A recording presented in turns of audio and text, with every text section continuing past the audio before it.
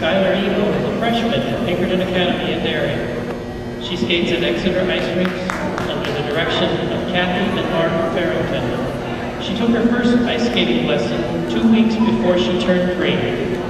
Ice skating quickly became her first love.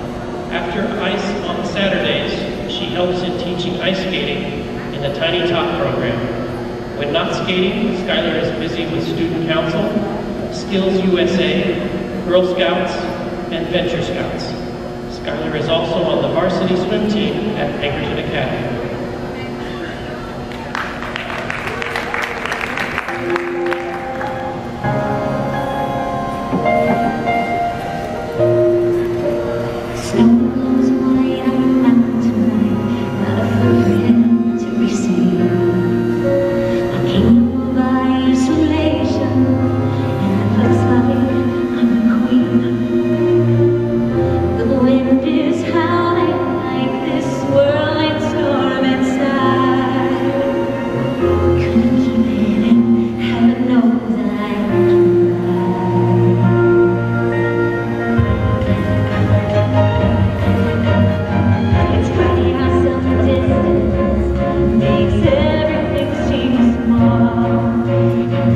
reason one.